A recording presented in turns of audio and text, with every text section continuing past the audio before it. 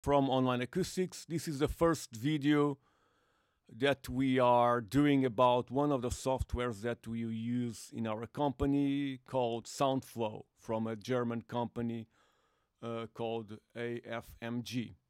So basically, we use this software to predict the absorption and the transmission loss of structures that uh, we don't have any information from manufacturers. So this will be the first video, and it will, be brief, and uh, I'll try to concise all the information as possible. So, um, SoundFlow works in a very simple way. So we have the file menu where you- you can basically open structures, save structures, uh, create a report, and export this material to EASE. Um, then on this window over here, we can, uh, of course, add layers of material. So in this case, we were playing with different layers of rock wool and uh, glass fiber. Of course, we can change any of these. We can, for instance, uh, exclude materials. We can uh, add materials. We can add, for instance, over here, we can add um, an air cavity if you want, or any other kind of materials. There's a huge list over here from uh, absorbers to perforated panels to plates. And for instance, let's choose air, air, air cavity. This is all in, uh, in the metric system, by the way. So this is 40 millimeters. Let's say if we want to use uh, 100, sorry, 100 millimeters, so 10 centimeters. And uh, here we have the updated systems. And we can add as much layers as we want uh, in our system.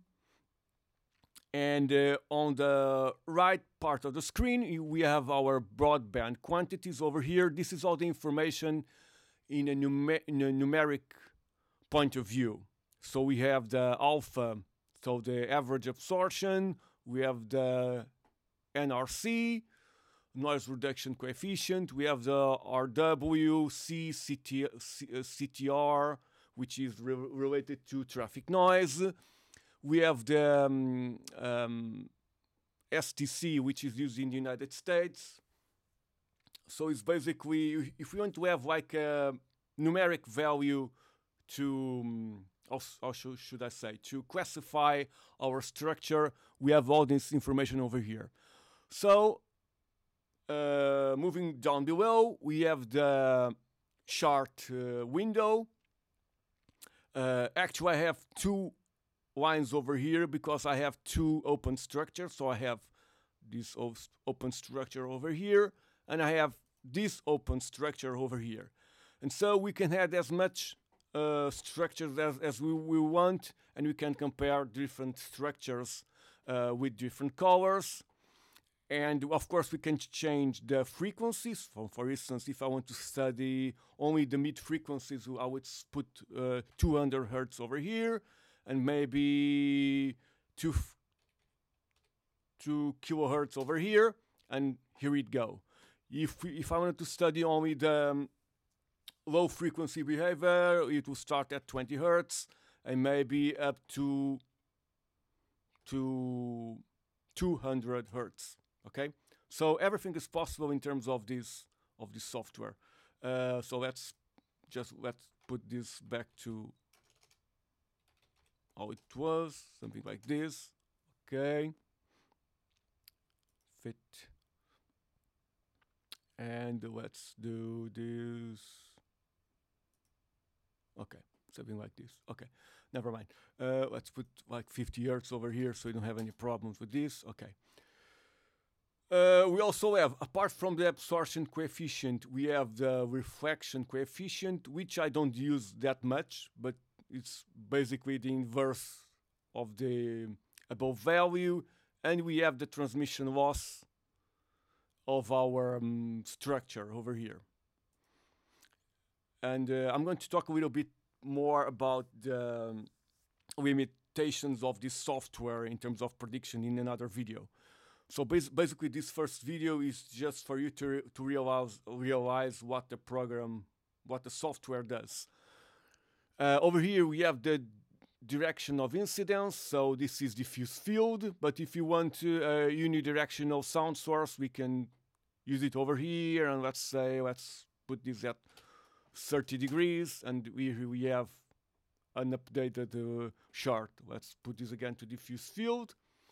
We have we can use this on different octave ba- octave bandwidths. So, for instance, um, uh, one third octave bands, or just simple octave bands, or just uh, whatever you want. There's at least five possibilities over here. And then on the structure properties, we can click on any of the layers that we have created in our structure and we can change this information that we have. So, for instance, we can change the density or the flow resistivity of, of our um, uh, mineral materials, for instance. Um, we can change the air temperature of the room, the, the humidity. So, all the parameters that we can uh, think of, we can change all this information, basically. And apart from that, we can also choose which model we are going to use. There's a bunch of models over here. Um, of course, we can uh, use the the the oldest ones like Delany, or we can use something like um, uh, the Komatsu, which is one of the which which is one of the uh, most recent ones. So there's the, a bunch of models that we can use. I'm going to talk a little bit about these in a, in a, in, a, in an addi- an additional video. And to wrap it up, of course, we can also um, create um, uh, a rigid uh, wall, for instance. So if we have like a concrete wall, and then we have our absorption system, we we don't need to create a concrete wall over here. We just say that we want to terminate the backing with, with a rigid back over here.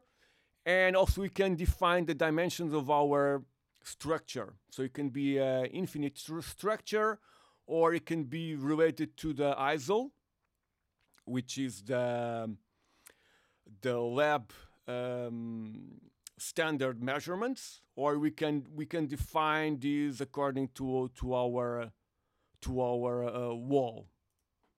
So basically, one of the tricks that I do with this software is uh, I'm going to pick up a lab measurement from a material. I put the material material on SoundFlow. I try to adjust the materi- ma- material on SoundFlow so it goes accordingly to the measurements that were made on the lab, and then I start from there to create my own structure, for instance. So that is basically uh, one of the ways that I use SoundFlow to give me more um, realistic or reli- reliable information. So this is it. To wrap it up, I hope you have enjoyed the video and uh, stay tuned because we have more videos about SoundFlow. Thank you so much.